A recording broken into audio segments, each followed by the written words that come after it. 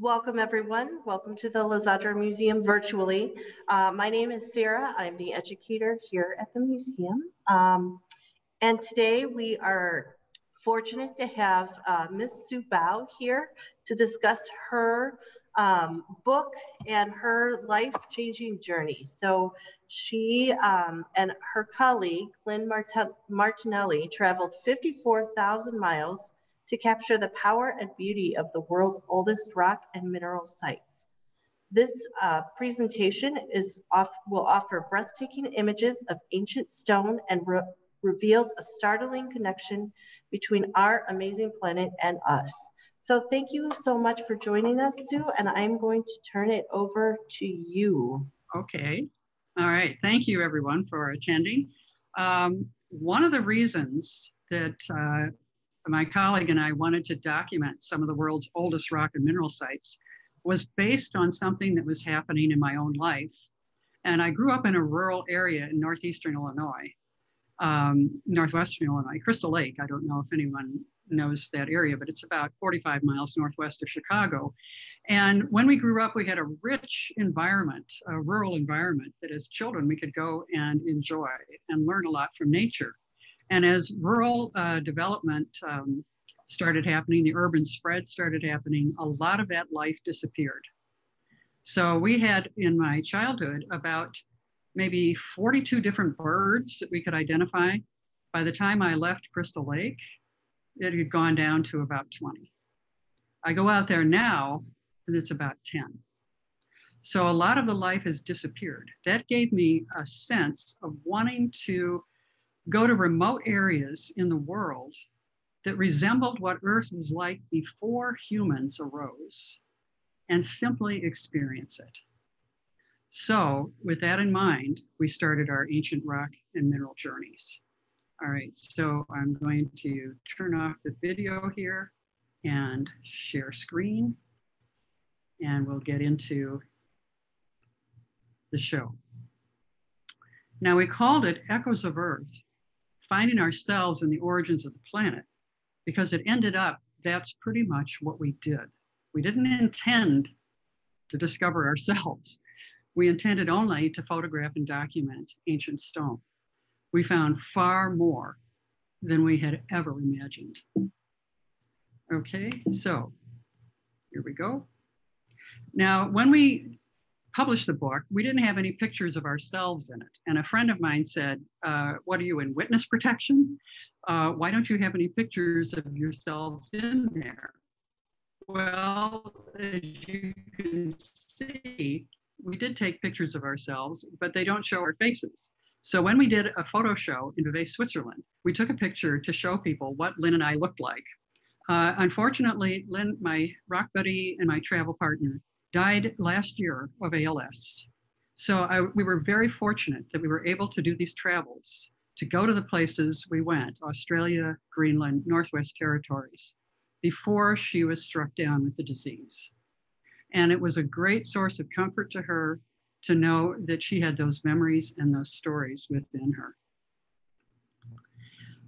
Now, this is the, uh, what we know most about Earth is recorded in the stones so we have this uh, sense of cratons.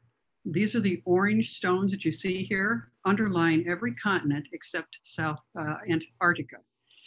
These are ancient shields from some of the earliest crust of Earth, and they really shouldn't still be here. They're more dense and they're more um, uh, they should have sunk back into the mantle. And for some reason, the geologists can't quite understand, they haven't.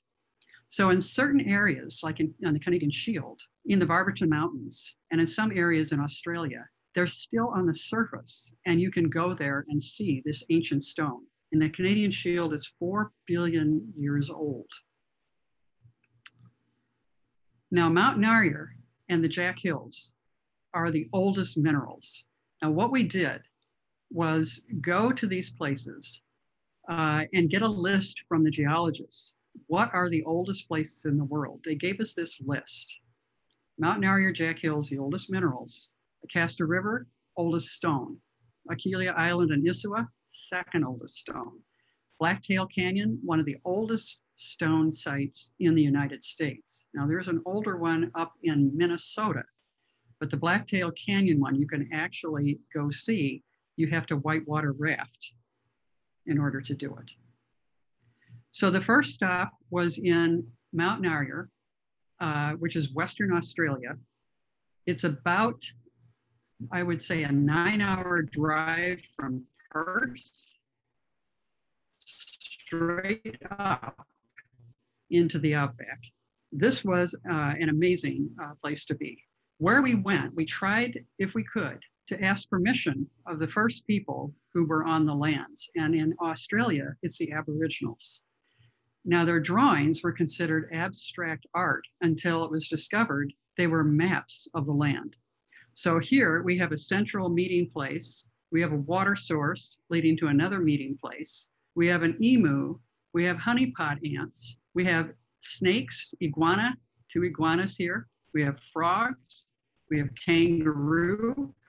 We have all the uh, prey animals that Aborigines used for eating. So if you don't have a written language and you don't have a way to convey information except orally, then what do you do? You draw maps.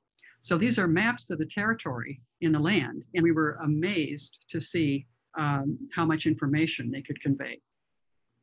Now, this is an aerial photograph of Mount Narryer in Western Australia. It is one of the oldest sites in the world.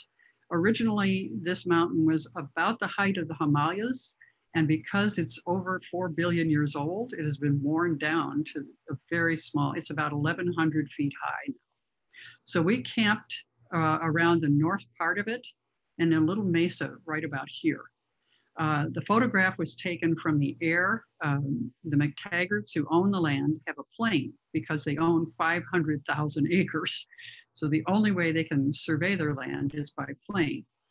Uh, a friend of ours, a photographer, had an IMAX camera and he took this photo of the entire mountain. Here's a little camper car that we lived in for three weeks. It had uh, two beds, an upstairs bed and a downstairs bed. It had a little kitchenette. It had a stove. It did not have a bathroom. So I found a book, How to Shit in the Woods. this book was immensely helpful. Um, it definitely was helpful in terms of understanding how to uh, go with the wind, not against the wind, uh, up, you know, up incline, down incline to avoid um, pissing on your shoes. Uh, this was a very helpful book. I highly recommend it if you're going into areas where you have no bathroom facilities and your car or your camper doesn't have one either. The McTaggarts at the time, it was a sheep and cattle ranch, and they were on what's called a muster or a roundup, so they could not take us to the mountain. Now, this mountain is a geologic mecca for geologists. Two weeks before we arrived there, NASA had been out there doing research on the rocky planets because the surface of this area here is very similar to what is found on Mars. So they were taking samples and doing research uh, right before we came. So they drew us what's called a mud map of how to get out to the mountain. Here's Mount Narryer. And Sandy would gave us the directions. Now he would say things like, you see this gate here? And we say, yeah. And you see this road here? We'd say, yeah. He said, well, that's not for you. So you don't go here. I said, fine. So the phrase, it's not for you, became one of our watchwords during their trip to Australia. This is Carol McTaggart. Uh, Sandy had built her a villa, an Italian villa in Western Australia. The climate is arid, very much like the American Southwest, so it's mountain desert country. If we went there in winter because in the summer it's brutal. So we started out on our own. They said, now don't get lost because we can't look for you for four days. So we said, we will not get lost. We started out, it's an eight lane graded highway. We thought, this is great. We're going to have no problem finding this mountain. And then the, the road narrowed a bit. Okay, went from eight lanes to four, but still wide. Then it went to a road track. Now we could still see this, lots of uh, easy to see the track here. And then try to find the trail. It's not this, and it's not this. We drove back and forth for two hours. And finally, I just said, stop the car. I got out, and coincidentally, the sun had reached just the right angle to reflect off the grass. And I saw the bent grass right here, right along this fence line. And that was our road. We ended up, when the mud map said rough bits, they meant it. We were driving on dry creek beds. We were leaving the seat. It was so rough. Even though we were seat belted in, uh, we were bouncing like corks uh, on water over this rough, rough terrain. And I knew we were likely to get lost. So every 50 feet, I tied a black plastic strip to a bush or a tree. And on our way back, that was the only way we found our way out those markers on the trail. Okay, we got to Mount Narryer. It looks like a little dragon, uh, the back of a dragon. It's a very uh, rounded, uh, kind of soft looking mountain. Um, and then in the morning, we got to the base of it. So it's very red stone. A lot of this, uh, the land, it looks very much like the Southwest in terms of the terrain and the color of the terrain because of the iron ore in it. It's uh, Western Australia is just loaded with iron ore. So you'll see this red orange to deeply red color, especially when the sun hits it at a right angle. Now these are eucalyptus trees. There are 32 different varieties of eucalyptus. A lot of the eucalyptus in the United States comes from Australia. And while we were there in the early morning, I kept hearing what sounded like traffic. It sounded exactly like I-94. lived close to the uh, highway. And I thought, that's really miles. It was the wind in the acacia trees making that sound. And I suddenly realized this was the voice of this place. And I stopped comparing it to places I'd been. And I started to really see what was here. And that's a real shift for people who live in cities. When they go into remote territory, you have to get the city out of you. Otherwise, you'll go there and you won't have the experience the place can offer. So we had to learn how to listen we found out there was this wonderful magpie called a Piper magpie, and it has a call like a glass flute. It's absolutely gorgeous, and it will call in the morning and in the evening. We also learned that the poisonous snakes hibernate in winter, and we were there in the Australian winter, so we were very fortunate. We didn't have to deal with that either. So we climbed up the mountain to take a look at the top, and here's a photograph I took from the top of the mountain. This is our little camper car down here. And this is the outback. It's like an ocean. Now we didn't because we were so excited about leaving. Again, city folk here. We forgot to take enough food and water with us because in the back of our minds, we thought we'd find a 7-Eleven out here somewhere. I swear to God, this is what we thought there would be a 7-Eleven. No, if you, there's a little settlement here, and if you miss this little settlement, it's 2,000 miles to the next town. To the south, it's 600 miles. To the north, it's about 400, and to the west, it's about 150. So unless you have uh, cell phones didn't work out here, computers don't work out here. Now imagine the isolation. So we had a shortwave radio that we could use if we got in trouble, but only if it was life threatening. Because if we used it for a non life threatening problem and the flying doctors had to come out, it was a $10,000 fine. So we had to be very sure we knew where we were, we knew how much fuel we had, we knew what direction we were in, and pay close attention to the environment uh, we soon uh, disabused ourselves that there was a 7-Eleven out here. So this is the top of Mount Narryer. You go 360 degrees, you will see this beautiful view of the outback. And this is the extension of the mountain, one of the ridges of the mountain. It's in three layers. And it's so quiet there. The only human sounds were our footsteps. There were no mechanical sounds at all. Once we shut off the engine, it was all nature. So at night, during the day, if we stopped and we were we were parked any place, we were sitting any place, the silence was profound.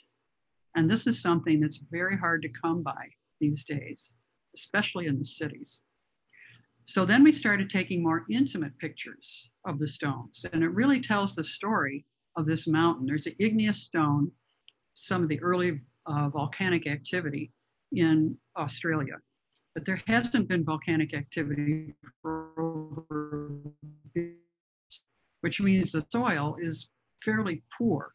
The only way it gets nutrients is if there are fires. So the Aboriginals used to set periodic fires, controlled burns, to put more nutrients into the soil. There's uh, quartz here, shock quartz, some of them from meteor impacts. Then there's just general quartzite formation, and then sandstone and a lot of um, laying down of river, rivers, sedimentary stone, metamorphic stone. So you could really see the history of the mountain in the stones around it. This is uh, some of the crystals, quartz crystal that was in the ground. It was all over the place. It looked very mundane. You could walk over it. There was nothing particularly um, standing out about it, except at night. And I'll show you what it looked like in a, in a moment. There was a lot of leaching of chemicals from the stones into the soil, which made these beautiful abstract patterns. And so we took some photographs of those. The reason this mountain is so famous among geologists is because of the zircons, these tiny grains of crystal that were found at the site and they were dated with very sophisticated technology to 4.4 to 3.2 billion years old. This was a shock to the geologists. They had not believed that anything had survived from this early in Earth's history. They did it again, and they got the same results. Now, zircons are very tiny. There's a little zircon here. This is a human hair and this is a penny. So it just shows you the proportions of the zircons. This is from the Jack Hills, which is about 35 miles northwest of Mount Narryer. Uh, it takes a lot of work to get these zircons. They take tons of rock from these sites, crush it up at the university, Curtin University or the University of Western Australia, filter through to get these zircons, and then they have to uh, shoot them with a, laser beam and, and destroy part of them, unfortunately, to get the spectrum uh, of the crystal. Now, as crystals grow, what they do, they're like little time capsules. They'll encapsulate the conditions on Earth in their layers. So if there's any moisture, uh, the air uh, content of the air, it will get trapped in the crystal layers. And what they found out was astounding. This is what we thought Earth's history was like 500 million years from the beginning to the first 500 million years were like this molten hell. Uh, the bombardments by meteorites, uh, this lava, uh, burning lava flow, until the zircons revealed their knowledge. And this is the story they told. That very early, within the first 100 million years, there was solid crust, there was moisture, some kind of water, and there was an atmosphere, very toxic to us at this point, but an atmosphere. This completely rewrote the history of Earth, and they're still discovering information from the zircons even today. We spent the last night at Mount Narryer, and it was like nature put on a show for us. The sun set, this was the actual color of the rock it, it turned absolutely blood red. It was even darker than this. My camera couldn't handle the true color. Uh, I had to keep the, the guys who were developing the film from photoshopping it to make it. I said, no, this is exactly the way it looked. Our last night, uh, we did manage to bring enough juices and water and crackers so that our water, juices, and crackers ended at the same time our last night was there. So we managed to make it through uh, with our supplies. But at night, it was a full moon. I looked out of the camper and I about fell over. The ground was white. I thought it was snow, but it was moonlight. And in the ground, these lackluster quartz were glowing as if they had light in them. It was unbelievable. I was dazzled by it. Just brilliant. They looked like constellations that had fallen to the ground. And overhead, the sky was a mass of stars, right down to the horizon line. And finally, an Aboriginal saying I'd heard made sense. They said, if you change something up here, you change it down here. If you change something down here, you change it up here. I saw the mirror of these two places constellations above, it looked like constellations below, and in between the human being. And that's where they place human beings in Aboriginal culture as a link between heaven and earth. And I thought, now I understand it. It was a beautiful way to end our time at Mount Narryer, magical. I've never forgot it. The next site we went to was Akilia Island in Greenland, tiny little island off of Northwest Greenland. Now, some of you might know that Greenland started out near the South Pole. This is way back in Earth's history. And through the movement of tectonic plates, it drifted northward across the equator. It used to have a tropical environment, and it's loaded with oil and gas, and probably gold, diamonds, and a lot of other rare minerals. And then it drifted to its current position and was covered now with a sheet of ice that in some places is two miles thick. It's gained notoriety because of climate change and the melting of this layer. Uh, if, this if this could melt uh, instantly uh, all at once, it would raise the sea level 12 feet around the world. So this is a huge lock of fresh water. Now the Aboriginal people here are the Inuit. The Inuit run from Siberia all the way across Canada into Greenland. And they have a culture that's about 13 to 14,000 years old. In Greenland, it's younger. It's maybe about 1,000 to 1,300 years old because it was colonized last.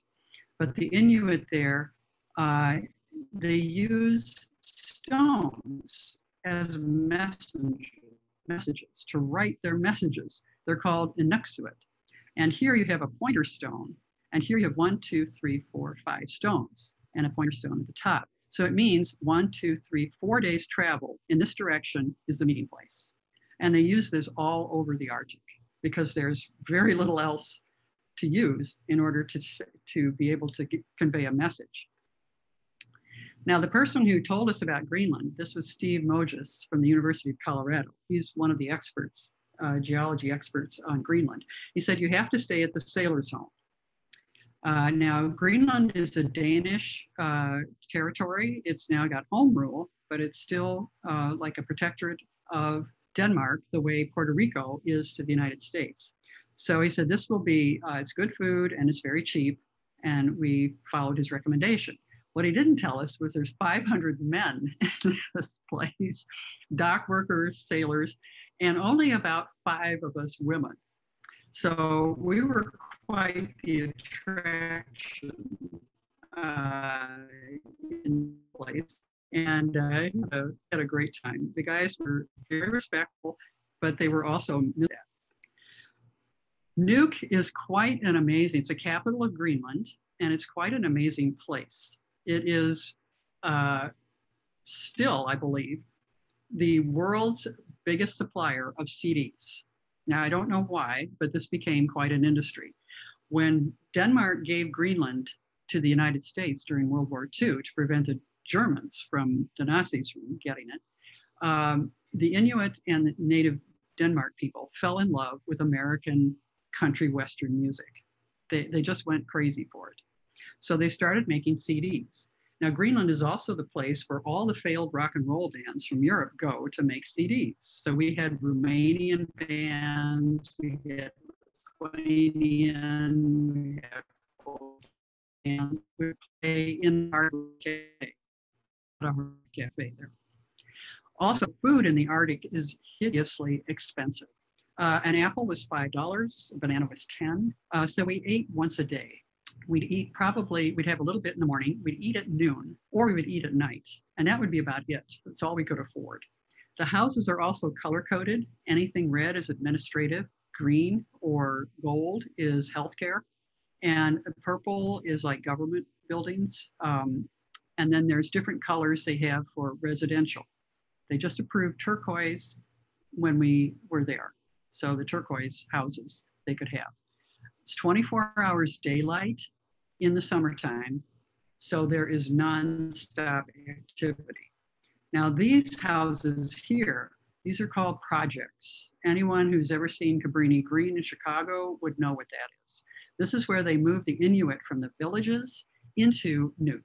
And I asked uh, Bjarni, who was the ex-mayor of Nuuk, how did they survive as far as the culture was concerned? They're they've been taken from a rural subsistence culture, very much connected to nature, and put in these high-rise buildings.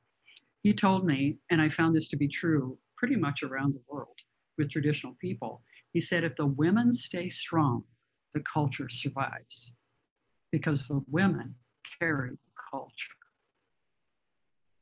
And I thought, that is amazing.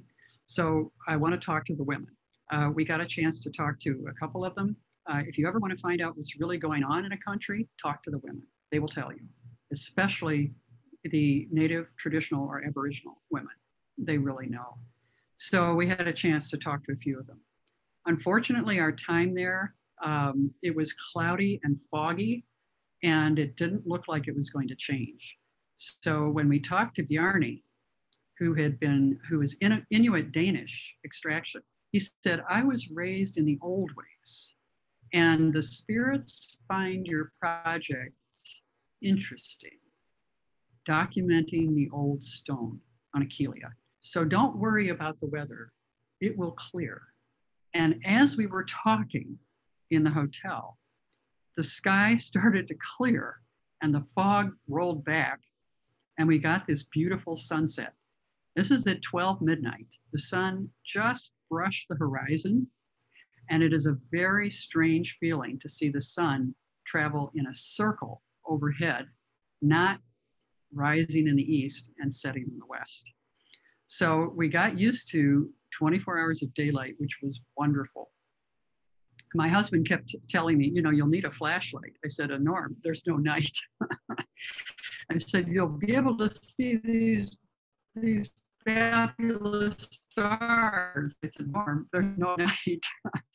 so from about mid-May to about mid-August, nobody sees the stars. They can see the moon when the moon is visible at night. They can't see the stars. There's no night.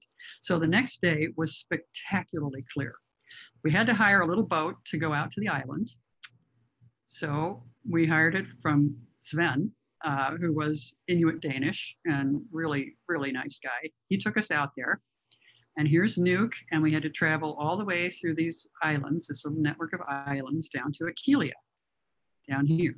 It's very small. It's about a half a mile wide at the most. And we noticed that his boat didn't have any life preservers. It was a very tranquil, very uh, calm sea. And we, we asked him about it. We said, why don't you have any life preservers? And he said, well, because if something happens and the boat sinks, the water is so cold that you'll die before anyone could see you and rescue you. So what's the point? So we were crossing our fingers that nothing happened to his boat. On the way back, the water was really rough. So we were praying very hard uh, that the boat stayed in one piece, and it did. But that was uh, the reality um, in this Arctic area hardly anyone has a, has a life preserver. What's the point? This is Akilia. Now, this is an island right behind Akilia with these beautiful little mountainous formations. Akilia itself is pretty flat. This is the area the geologists have cleared off to study the ancient stone. Now, Akilia is in the Arctic area, so it's pretty exposed to some of the storms and some of the other um, difficulties that uh, the weather can present. But it also has absolutely spectacular examples of metamorphic rock. Now, this stone was actually formed vertically and has these, this layer cake um, uh, series here of lighter and darker stone. And then it was pushed over on its side. And it has this beautiful stripe. You can see the absolutely clear blue sky that we had. It's perfect photography conditions. This is part of the stone that was uh, metamorphic stone was created when this island was malformed during all the tectonic plate activity. The lighter parts here, the orange and green, that's uh, lichen and also seaweed that attaches to the stone.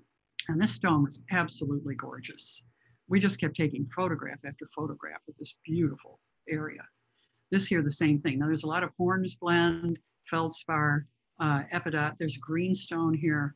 There's um, uh, olivine in this, mica, beautiful stone, and it looks like it's still moving. It's very powerful, very powerful. Other, uh, this island was like Tolkien's um, Lord of the Rings. It, it had such a magical feel to it. When we first got dropped off, we had no, there's no beach there. So we had to crawl over these boulders to get to the actual island itself. We learned later that it's an Inuit custom. When you come to an island, you crawl on your hands and knees to show the spirits that you are friendly and they show them respect. So we had inadvertently showed respect to this place by simply being able to, you know, having to crawl on our hands and knees uh, over this uh, stone. And there were spirits on that island. I would hear footsteps behind me, thinking it was Lynn. I would say, Lynn, look at this. And I'd turn around, and then I'd notice that Lynn was way across the, uh, the island. So it was a really interesting experience um, to feel that. Now this is a this is what's called a dike. This is uh, hornblende and feldspar and mica in there. It's just it glitters like there's um, this beautiful uh, sparkly um, snow almost on this stone. It's just dramatic. This was almost like, you know how you throw a stone into water and you get this ripple effect. This was like having water in stone, having carved this from erosion. Uh, this island is really beat up by these Arctic storms. This you can see some of the chemicals leaching out of the stone and again forming these beautiful colors. We really wanted to, we stayed there all day. We, we would have loved to have stayed overnight, but it's a protected place and we would have had to apply to the government for permission to stay overnight. Here's some of the life that was in there. Um, these beautiful, uh, this is a succulent. It looks exactly like a cactus. These look like little marigolds uh, or little chrysanthemums. They're only about an inch high. And this is a puffball lichen. Very tough life on this island. It has to endure uh, hurricane force winds. Temperatures at, at times will go 40 below zero. And then in the summertime, the temperature lately can get up into the 90s. So the temperature range for these little life forms Uh, is up to 200 degrees, and they can they flourish under it. It's there. It's very impressive the way life has adapted to these places.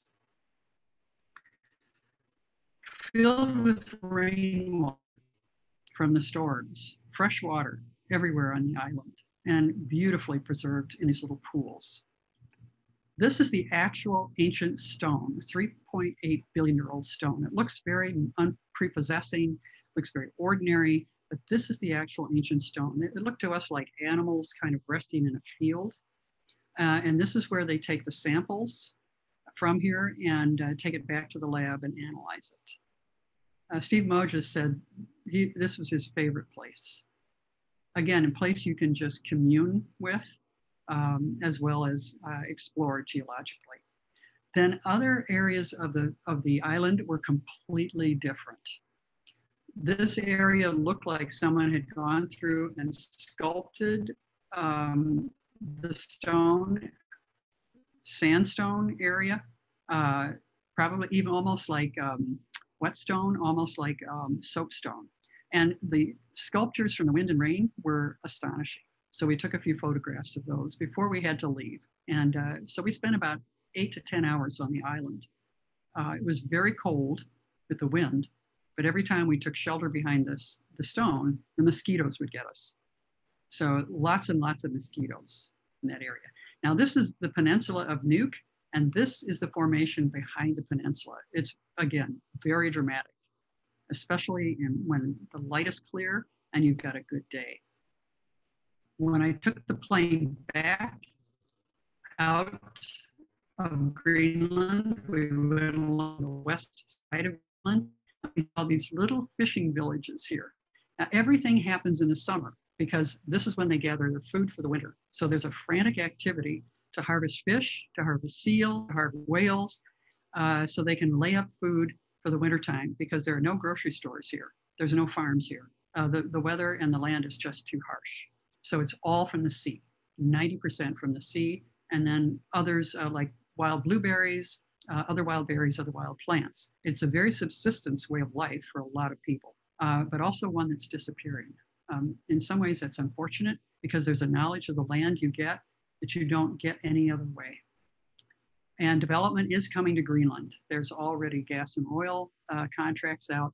Um, so we were in Greenland in a very fortunate time to see it at a pristine state. This is the last photograph I took of Greenland. You can see the glaciers coming down here and uh, melting into the fjords. Each one of these dots is an iceberg about the size of a house. And the rate of melt, even in 2002, was incredible. It has since accelerated dramatically. Uh, even in 2002, when we were there, they were seeing areas of land that hadn't seen the light of day for 12,000 years. So we came home and we said, the Arctic is melting. Now, talk about going from ice to fire. Uh, our next stop the same year was Blacktail Canyon in the Grand Canyon in June, July. And it was 110 degrees. On Greenland, 65 was a warm day. Okay. So the only way to get to Grand Canyon is whitewater rafting. That's the only place where you can get to Blacktail Canyon. It's at the bottom of the Grand Canyon along the Colorado River. Luckily, my brother had uh, signed up for an adventure um, to, with a company that would take us through the Grand Canyon. It would just happen to fall in the same year. So I signed up to go with them. Now, the Havasupai tribe are the caretakers of this particular section of the canyon. They have built this plexiglass bridge walkway out over the canyon. And the tourist money helps them support their clinic and their education. This is clear plexiglass. Now, when you step on this, what you see is 3,000 feet straight down. You will never get me on this walkway ever. I have uh, a total uh, fear of heights and I'm a total wimp when it comes to something like this. So these hardy souls are out there on the walkway looking down. I wouldn't touch it. But this is a way to have a Havasupai, and this was finished um, right before we came. So they have uh, tapped into crazy white people coming and wanting to walk out over the Grand Canyon. Okay. Now, the Blacktail Canyon is a slot canyon, which means it comes from the side into the Colorado River. Um, the cautionary tale with that is thunderstorms up on the plateau will cause flash floods in this slot canyon. Uh, you have to watch this extremely carefully. If you are in a slot canyon and a flash flood comes, you will die. There is nowhere to go. There's no place to climb. There's no way to get out of the way of a flash flood. And every year, um, they have to watch this extremely carefully. The people die who don't pay attention to this.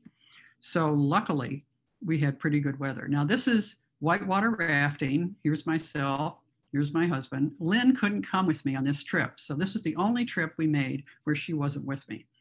And going into the Grand Canyon, uh, ordinarily rapids are zero to five in terms of, um, of danger or level. The Grand Canyon, it's zero to 10. So because the river is so deep, all the rapids are navigable. So you get into a level 10 category rapid, and you are going to go through some pretty hair raising experiences. Now, luckily, the rapids are short, so like maybe a minute of screaming terror and then three hours of floating. So it's very exciting. I was terrified. Uh, and then it's absolutely gorgeous. So you see the entire geologic history written in the stone. This is absolutely fabulous. You rarely get a chance to see this. So you have the igneous stone here, and then you get the levels of metamorphic and sedimentary stone above it.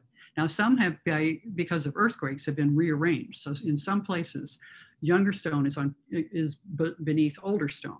But in this section of the canyon, it was pretty much like a layer cake of geologic age and just stunning. And you can see that ordinarily, when the river is churned up, it's red, but when it's not, it's emerald green. It's absolutely beautiful. So Blacktail Canyon, the Slot Canyon, you can see here's my nephew down here in the lower left here. And this goes on for another 30 feet. A very tall, narrow slot canyon. You can see here the scoring of the flash floods and the winds and uh, the dust particles the winds carry. This, this land has been pretty thoroughly beaten up by the elements. I love this picture because the people look like they're part of the stone. They just kind of blend in with the stone and the movement of the lines gives it this sort of sweep and this sense of motion and uh, dynamic energy. The Vishnu schist, which is the oldest stone, it's 1.7 billion years old. It's igneous stone and it is the bottom layer of the continent. So the entire continent rests on top of this. Now, in most places, it's buried beneath two or three miles of other types of stone and then topsoil. But here in the canyon, you can actually walk into it and see it and touch it and feel it. We were lucky. The week before, this canyon was buried in 12 feet of water. It was bone dry when we got there. And what was interesting was the power of this stone to affect people. Uh, I was traveling with 26 um, people who were like camp counselors, so there was a lot of noise wherever we went. And when they entered this chamber, every one of them fell silent. It just had this cathedral, sort of mystical um, feel to it, as if they could feel the age of this place. I wanted to stay here for a week but we had to move on. So I took whatever pictures I could. This is where the stone cracked and the quartz, uh, lighter quartz and other elements filled in. And then they had, uh, it looked like um, almost like an animal, ancient prehistoric animal uh, in this chamber. Uh, but I love the dramatic lines of this. Uh, so I took a picture of this stone. It also has what's called the great unconformity where there's 1 billion years of Earth history is missing. 1 billion years. So they have the 1.7 rock layer, billion year old rock layer. And then right above it is one 700 million years old. So a billion years got evaporated, got eroded away. So whatever life forms arose, lived, and died during that time are gone. And it kind of made us think about history and the stories that survive and how our knowledge is put together only by the stories that survive. So the stories that don't survive, it's missing information. It's like in a family when an entire generation is wiped out, all that knowledge is gone unless it's preserved. And here it was not preserved. So the record of that life doesn't exist that was a powerful experience. Uh, and that set us up for the next experience, which was Northwest Territories in Canada. Again, we did this in summer, which meant 24 hours of daylight. So Acasta River is way up in the Northwest Territories. The capital of the Northwest Territories. And this is 150 miles almost directly north. So a knife is and in the midst of the tundra. Now, the tundra is an amazing place. Um, but again, the Dene or the Inuit, the Inuksut uh, stones here were the original people. So we asked permission from the chief negotiator for the Aboriginal people, Tim Malone, for permission to go onto their land because this is their backyard. And he said, certainly you can. Um, so we took uh, we took a, a float plane up there. But Yellowknife, Canada is really an interesting place. It's full of granite boulders. So when they built the hotel where we stayed, they built it into a granite boulder. I never slept better anywhere in my life than we slept in that place. And they also told us, you have to see the city dump in Yellowknife. Now, Yellowknife is also unique because it's a blend of Inuit and white culture. So when they tell you there are 7,000, the population of Yellowknife is 7,000, they're counting 2,000 ravens in that internet, in that uh, count. Uh, 2,000 ravens, they consider them as part of the population. And that's uh, in honor of the Inuit uh, Inuit culture, which considers the raven a sacred bird and a messenger bird. So we wondered, all right, we'll go to the dump. We don't understand, but we'll go. And then we found out the dump is the Costco, the Sam's Club, the Walmart, the grocery store, the hardware store of the entire area. Anybody who has extra paint puts it out here. Now, this only happens in the summertime because in the winter, with temperatures going 40 below zero to 60 below zero, at that temperature, metal shatters. It's like glass. So you can't really put the stuff out in winter and expect it to be uh, able to stay. So everything has to happen in summertime. They put it out here. You need paint. You'll get paint. You can exchange it. You need tires. You come to the city dump. Here's the tires. Again, in the wintertime, these are frozen solid. You won't be able to use them. So we tried to wait until the weather would clear so we'd have good weather and it never cleared. So we, the last two days we said we have to go. We have to go to this place. So we rented a float plane from Air Tindi. Air Tindi is still there. I checked. They still fly people up there. It's about the size of a Volkswagen my poor partner was in the back. I was sitting next to the pilot. We had about six inches between us, uh, and we took off. Now we had a little bit of blue sky that quickly disappeared. The tundra is like an ocean, like the outback. The difference is you don't know whether it's more land or more water when you see it. So traveling during the summertime is very difficult if you don't have a plane. During the winter, all this is frozen. So it's easy to travel over it by snowmobile, um, by little snow tracks, so snow trains, uh, even by dog sled. But during the summertime, it's actually more difficult. Plus, these lakes are full of mosquitoes. So when they hatch, and they hatch around late June, there is a blizzard of billions and billions of black flies and mosquitoes, which makes travel in this area also pretty difficult. Now we were flying up to a little island.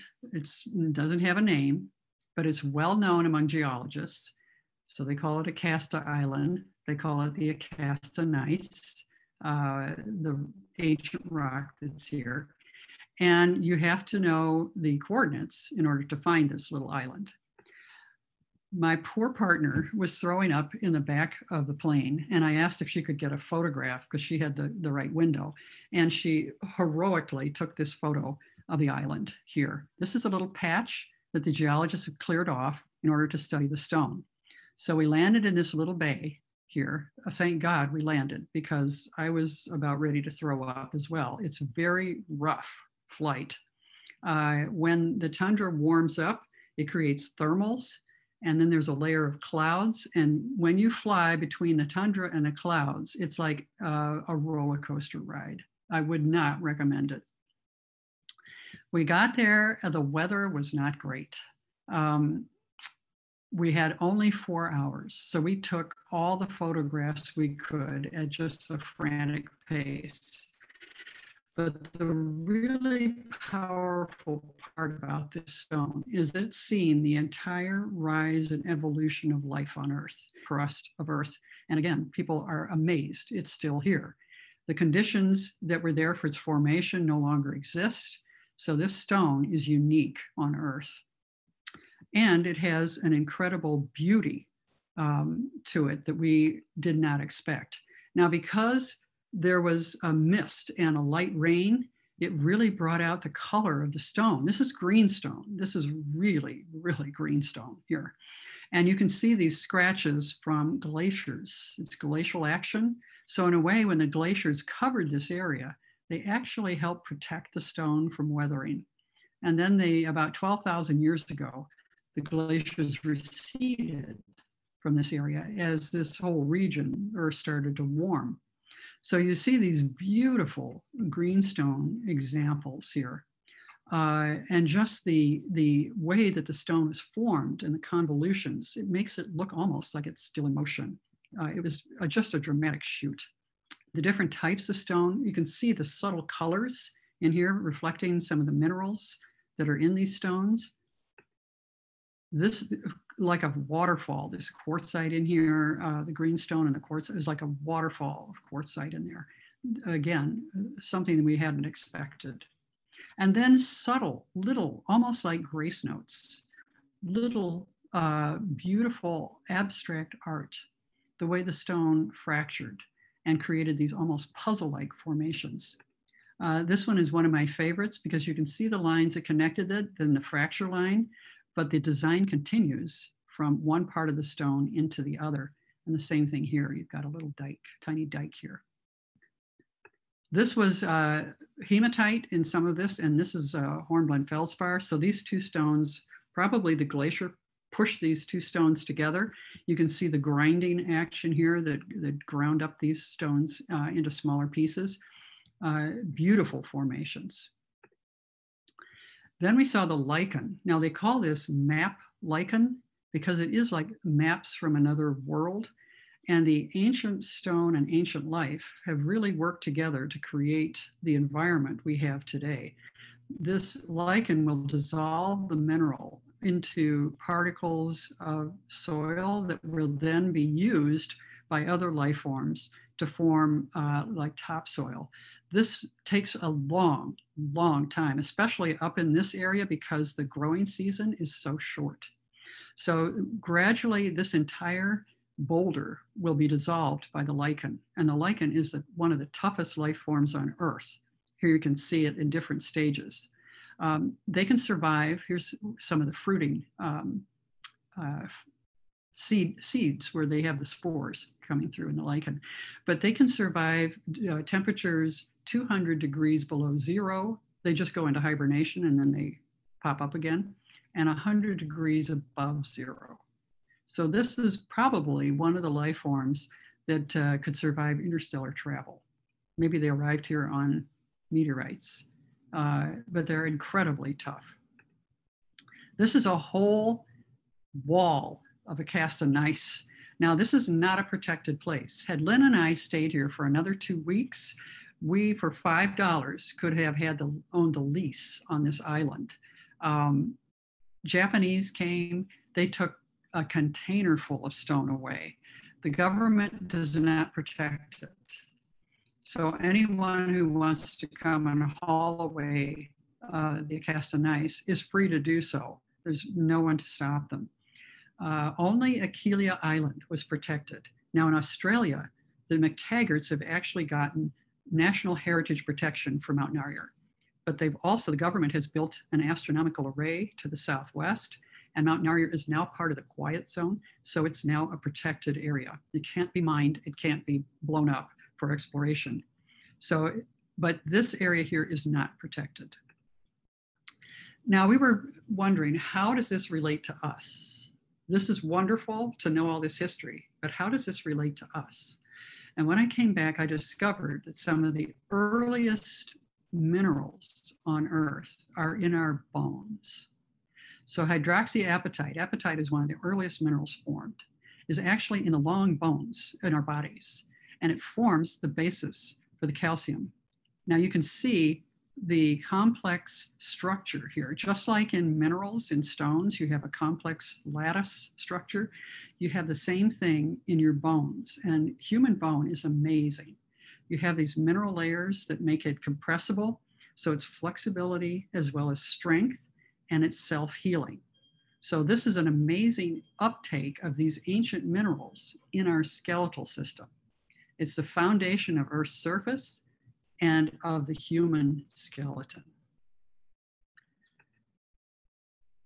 This is the Haversian canals that are in your long bones, in the hard bones in the body, and it looks like a windswept landscape.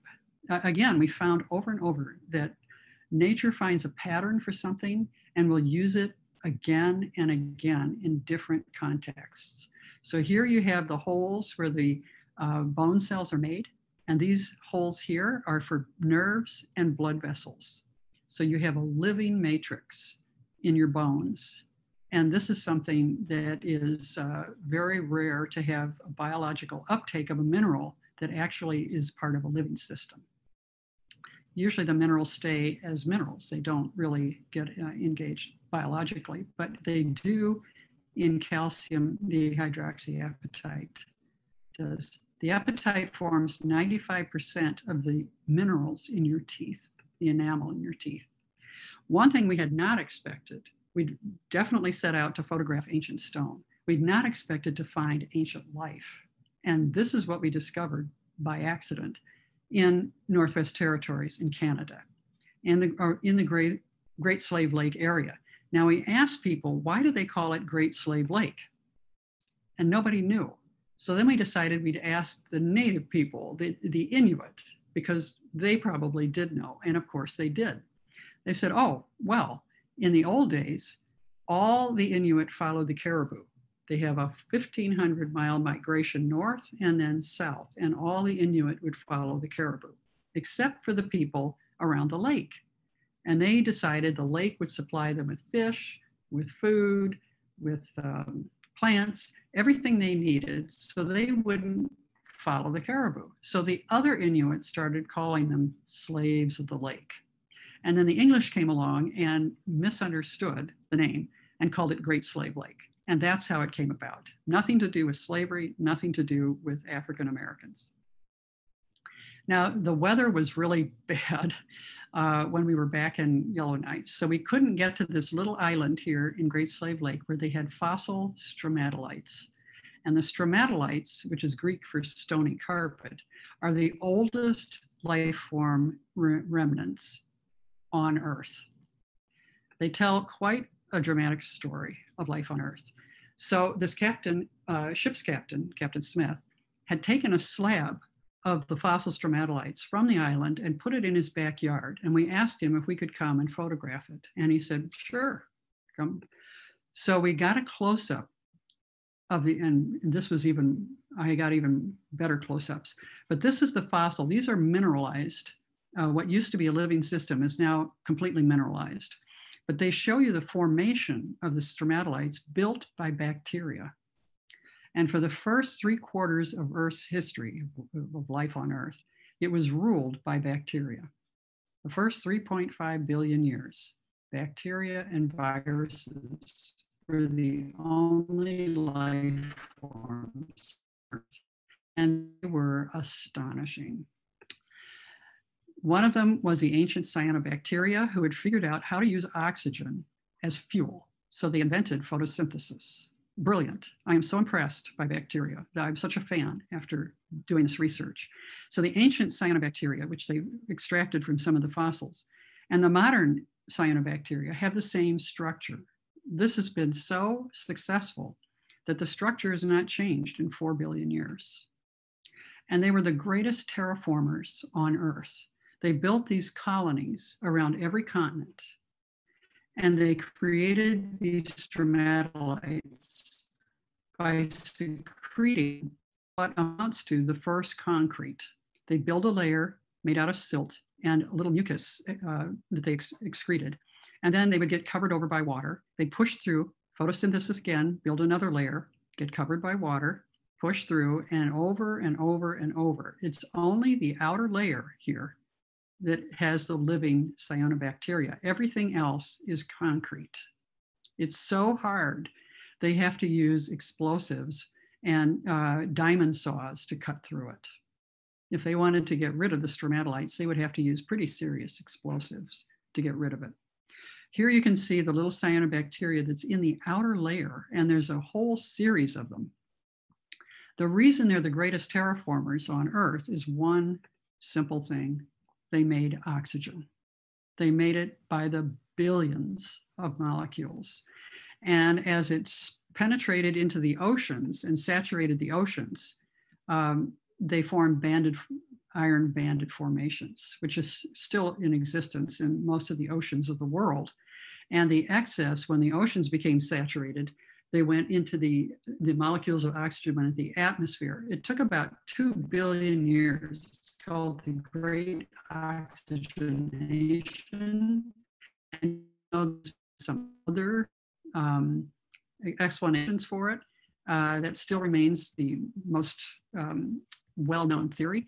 And they changed the face of the earth. They put in an ozone layer, which made life able to live on land. Otherwise, it would be sterilized by the ultraviolet rays of the sun. So I got my macro lenses and I got up close to the slab and I just started taking close up after close up after close up. I wanted to see the structure of this, and every layer was built by these tiny bacteria. This is 1.7 billion years old, this particular fossil. And you can see it's what's called the domed or egg carton pattern. Um, others are massive um, arches and look like almost wheels. This one, each of these layers, they look like wood, like a wood grain. And the final one that I got was even more dramatic. Uh, the white part are minerals, probably quartzite. And these are the structures that were preserved um, by the fact that they were made practically of concrete. So you can see how incredible it is that these were built by tiny bacteria and they covered every continent in the world. The only living remnants are very few places in the world. And that was one of them was in Shark Bay, Australia, which we also got to. And again, the Aboriginals are the caretakers of that land. Uh, there weren't any to ask permission. Um, so we asked permission of the person who owned the area where we went. Um, Hamelin Pool, which is where David Attenborough went, Mr. Kopke's land, to photograph life on Earth, the stromatolites there. So these are movie star stromatolites. And this is a very pristine, undisturbed beach here that we, he allowed us to uh, camp overnight. And we said, Can we pay you? And he said, Just send me a book, you know, when you get the book done. It took 10 years, but I sent him a copy of the book and he had a copy before he uh, sold the land and left it. So this is a stretch and it goes on for 10 miles in each direction. Tourists don't come here. So unlike the Shark Bay area, which is tourist um, heavy, uh, we were the only ones on these beaches. We were lucky, we had a new moon and we had a very low tide in the morning. So we could photograph the stromatolites uh, pretty far out into the area, uh, into the bay. They're incredibly diverse. It's almost like the bacteria, in addition to being great builders, have an artistic sense. So they would build different structures, almost like different artistic periods um, of these uh, little sections. Remember, only they looks they look dead, but they're not. The only the top layer is alive. Everything else is just uh, concrete. And here it looks almost like abstract art. Uh, Lynn was reminded they looked almost like uh, furniture made by a Danish artist, uh, and she really found them intriguing. Then there what we call the muffins. Uh, there was other um, stromatolites there, very much alive, and the footprint here. Now you'll notice the tide is starting to come in. We didn't notice this. We were so busy photographing, we didn't notice the water was starting to creep up around us. We noticed there was a little um, almost like uh, jellyfish in there. And I found out later, Book of Fossils, this is 23 million years old. These little cre- creatures have been around that long. And little minnows in here, they live in salt water that's 10 times saltier than the Indian Ocean. This keeps predators down. So they have pretty much an uninterrupted and undisturbed environment. There's very little that hunts these or that eats these. Um, so the water is very salty. It was cold, so we couldn't remember it's their winter. Uh, so we couldn't really go snorkeling. So we stuck a waterproof camera underneath and snapped and got a couple of really good pictures. Here you can see the reflection uh, on the surface of the water here of that stromatolite. Now the water and the tide is coming in fast. Uh, we took our last photograph of our last roll of film because we were using film and not digital. At the time we were made the trip, the digital cameras were too expensive. And Lynn was uh, isolated on a rock. She managed to get back in time, but after the last photograph was taken, the whole bay was underwater. We wouldn't have been able to photograph anything. So we were very lucky that we got what we did. Then, like the ancient minerals, we discovered later that the ancient life is inside us in our mitochondria. And this was astounding. With the free living bacteria that was able to use oxygen as a fuel, got swallowed up by a larger cell. And the, the, the kind of the agreement was the little uh, mitochondria would produce energy for the cell. The cell would provide a safe place and then all the nutrients that the mitochondria wanted produced a eukaryotic cell, a complex cell. This was a huge innovation and allowed an explosion of complex life. Now, the more energy a tissue needs, the more mitochondria it will have. So the heart muscle, which is the most energy absorbing it has to work constantly. Organ in the body uh, has the most mitochondria, and this are little green globes here. This is cardiac muscle cells, muscle. Um, it's, it's healthy cardiac muscle, and it shows the mitochondria here. So like the cyanobacteria, the key element was oxygen. In the mitochondria, the key element is energy. If your mitochondria die, you die. You have no way to produce energy. So this is a huge invention. So we carry, it's, a, it's amazing, the evolving story of life within our cells. And we carry the long history of Earth in our bones. And that's why we titled this whole talk Echoes of Earth. And that's the title of our book Finding Ourselves in the origins of the planet, and we didn't know how appropriate that would be. Okay, I think that's the end. I, I think I should stop the share.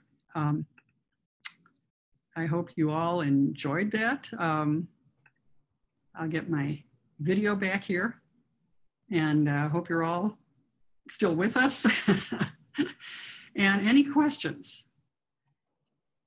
Uh, thank you so much, Sue. Um, that was a, a, great presentation. I did actually um, have a question from Chris, and yeah. I believe it was around the time um, that you were talking about the Grand Canyon.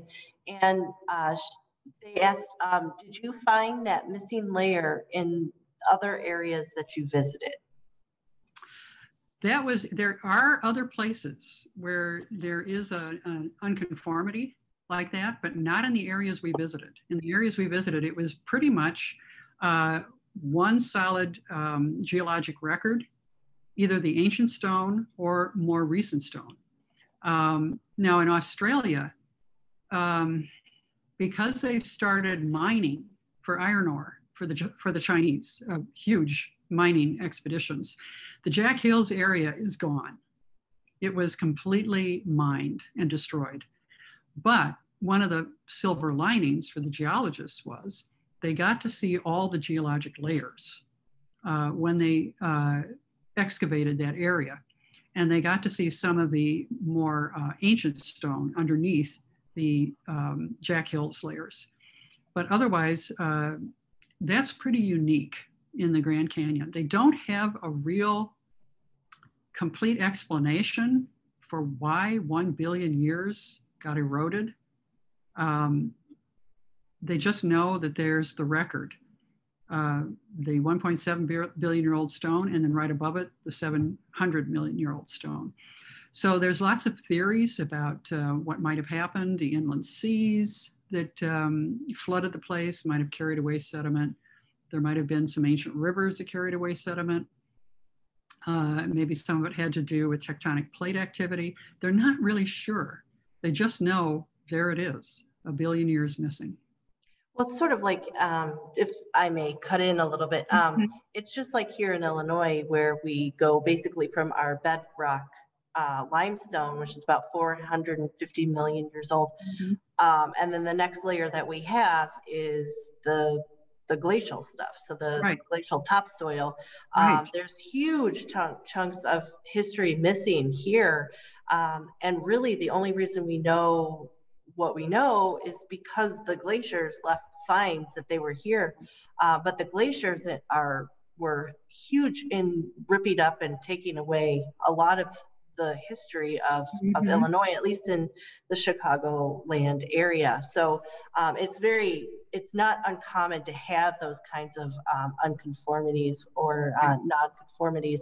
Um, really, sedimentation, there's, you either have periods of extreme sedimentation mm-hmm. where things are building and building and building, and then you can have area uh, times periods of extreme erosion where so much time goes missing, and that is very very common in the geologic record, especially when you're dealing with rocks that are billions of years old. It is incredibly rare to have billions of years of rocks or right. rocks that are billions of years old preserved, which is uniform. why your whole uh, yeah. talk is is pertinent. Right.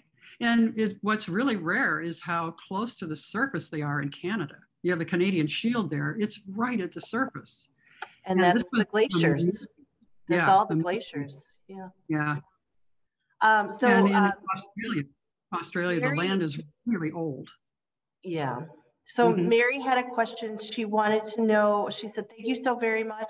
Uh, so much. Very exciting. What is your educational background?" Oh, okay. well, it's really varied. Um, I come from, um, how should I say this? The, the academic background is liberal arts, but with a passion for science. So I've ended up being a science and uh, medical editor. So I worked for, I've worked for several major publishers. We produced uh, earth science books, life science books, and I also worked for Encyclopedia, Encyclopedia Britannica as a uh, medical writer. So I've been able to cross over the liberal arts, which is the artistic part, with the science part, and uh, been able to talk to and interview geologists and then uh, get a lot of self education just because I'm fascinated by it. But also shared with uh, geologists who were so generous with their knowledge, their information, their papers, um, explaining some of the findings they had, uh, particularly the shrimp technology where they date the zircons. There's a, there's a fascinating lab up in Madison, Wisconsin. Um, one of the people who uh, dated the early, oldest uh, rock form, mineral forms um, is up there. And he's, uh, he says anyone who wants to come up and, and you know, view their equipment, just give him a call and, uh, you know, he'll make room. Of course, with COVID, you can't do that. So it's been a mix of liberal arts and science uh, education and also traditional uh, understanding traditional cultures. We were very fortunate that every place we went, we were able to talk to traditional elders. And that was a revelation because I found there were like four layers to each place we went. The first layer is the tourist layer. And people come, they see something, and then they go home. Now, you can have a profound experience as a tourist and, and a life changing experience. Then there's the invader immigrant level. So Europeans or whoever comes in and they have, they take over the land basically.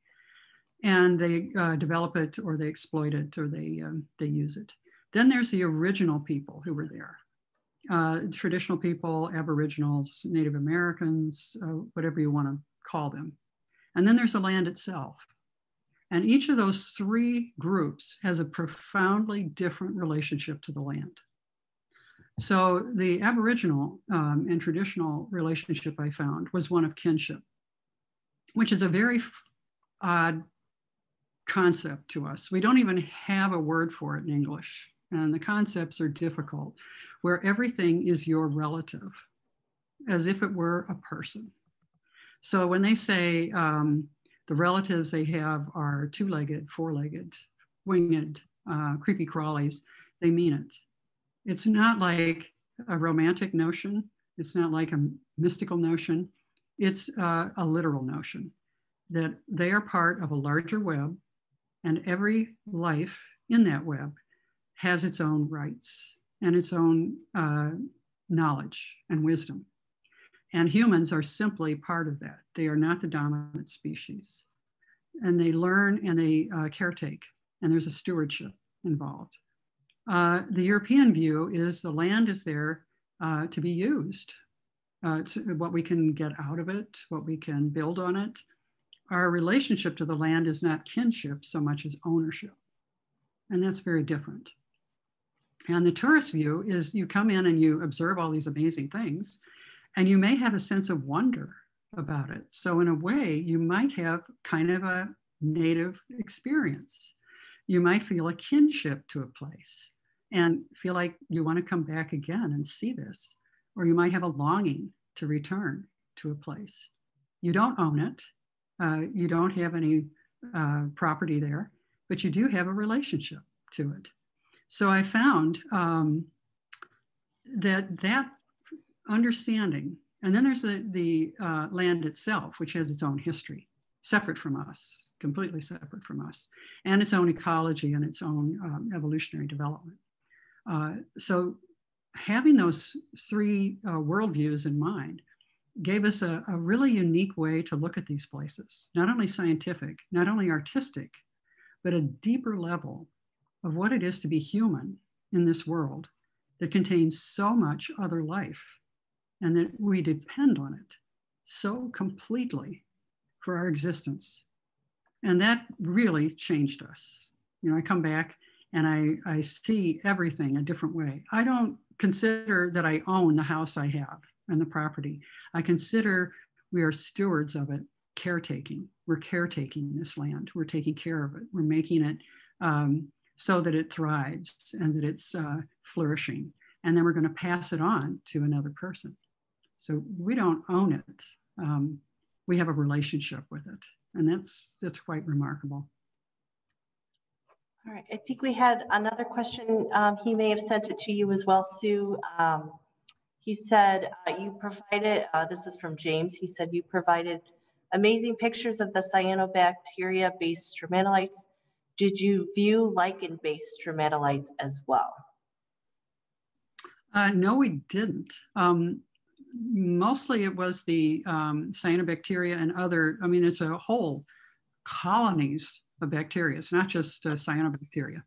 Uh, the cyanobacteria gets all the credit because it's um, featured in a lot of uh, photosynthesis and uh, a lot of um, uh, papers that, that talk about uh, the oxygen um, event. But lichen we did see in, especially in the Northwest Territories, where there's life lives on a very thin margin there. Where we were is uh, taiga, not tundra. So nothing grows taller than maybe two or three feet. That's it. You won't see trees there. You'll see bushes. We saw black willow bushes uh, and mostly uh, small ground plants and lichen um, because the, the conditions are just too harsh. Uh, you get hurricane force winds up there 100 miles an hour uh, and just incredibly brutal temperatures. And you, you, nothing can survive except what grows there. Uh, it's very tough. So when the uh, environment is disturbed by mining, um, or by other kinds of excavation as they have around Yellowknife, it will take centuries for that land to recover because it's simply, the growing season is so short, it simply can't do it. So it's really disturbing to see the amount of destruction, um, especially diamond mining will do, which there's a huge strike around Yellowknife, um, almost equivalent to what's in South Africa. There's pink diamonds that are found nowhere else in the world, so everybody is there. And they have to take tons of, um, of earth to get the diamond, uh, what they call the diamond uh, tubes from the mantle and they, they simply ravage the countryside. They just pulverize it. And then they leave and it's left there. Um, streams are blocked, whole areas are just devastated. Uh, and then they go. Every morning at nine o'clock in the morning, we would feel the ground shake three times. And it was their, the dynamiting for the, um, for the diamond mines. So yeah, it's, it's kind of disturbing to see that, um, knowing that that's that devastation will stay there for a long, long time. Well, that was kind um, of a um, long answer to your question. okay. Um, okay, so um, everybody, um, so there was a question about the book. Um, so I will answer this. We do have both uh, Sue's book and her timeline, which she could better explain. But um, we have right. both in the um, shop. So this is her book, Echoes of Earth, and then her timeline that she uh, produced herself, um, available in the museum shop. Um, yeah. And I will turn it over to uh, Sue. You can describe your your your timeline okay. a little better than me. yeah. What I tried to do was find a timeline that would summarize the rise, uh, the, the partnership of ancient bacteria and ancient stone in the rise of life. And I couldn't find one. I looked everywhere because I thought, well, all I have to do is just permission it and put it in the book. So I had to, I had to create it. Uh, so I uh, put it in two ways. Here's the usual timeline that we're given. This is all complex life. And here's the first 4 billion years of life over here. And we don't really care about that because we weren't there, right? So why should we care? So I had to draw all of these because nobody had them. So this is a rise of life from about 800 million years to the present. But that tells a very, very short part of the story. So what I did was open it up and then from the beginning, give you a sense from the Big Bang all the way through to where we are now of all the important inventions by the bacteria to set the rules for life and create the environment that allows all of this complex life to exist. Okay? So, for four billion years, the ancient stone and the ancient life created the environment of Earth that made this possible and they still maintain it.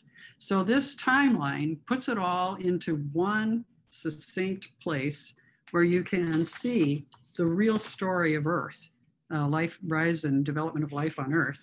And then I did a booklet that goes with it that explains uh, some of the ge geologic, how, for instance, they set geologic eras and periods and eons. And then some of the other information in here of what each of the uh, panels uh, shows and describe. What I tried to do is to, was uh, feature animals that had significant evolutionary developments, like the notochord or the spinal cord or the backbone. So this is sort of like one compact uh, expression and succinct description of the timelines of Earth the way you usually see them, and then giving the full story. Uh, and that was really a labor of love. Um, I had help from individual um, scientists, but nobody had the whole spread of it. So you will end up knowing more than most scientists about the whole spread of the timelines of Earth. Um, and this is available too through the museum. So really support your wonderful museum. Uh, I'm giving this to uh, museum to sell at half price. So ordinarily the timelines are 20. Uh, I say, please get, sell them at 10. The book is ordinarily $40. I said, sell it at 20. I really want the book out there. Um, it has some unique design features that will uh, surprise you, I think, uh, that, that show off the stone and give you a feeling of you're right there at the place. So thank you very much for your attention. Um, I wish I could have talked to you more and seen you more, maybe when COVID is over and we can be together again. Um, I could give the talk uh, again and we could, we could share it more intimately. But thank you very much for your time and your attention. Thank you so much for, for joining us. And we will be uh, posting this on our uh, website. So if you want to go back and, and learn a little bit more, refresh something in your uh, from the talk, um, that will be available. And um, again, her books and her book and her timeline are available in the shop. We are taking appointments right now to come and visit the, the shop. And uh, yeah, thank you guys so much for joining us. And I hope Yeah. you had fun and you learned something. And also the book won some awards, so, which was a great shock. And uh, uh, for art, uh, photography, environment, science, um, a host of things. So that was a real, um, that was a real pleasure to, to know all that hard work was recognized by my peers in the publishing industry. That was, that was quite an honor. All right, So, well, well, thank you you, very everyone, and um, have a great holiday. And uh, right. next week, we are doing our last Slow Art Saturday at 2 p.m. So if you'd like to join us for that, um, please do. We'll be right here on Zoom. So thank you again, and uh, happy holidays, everyone.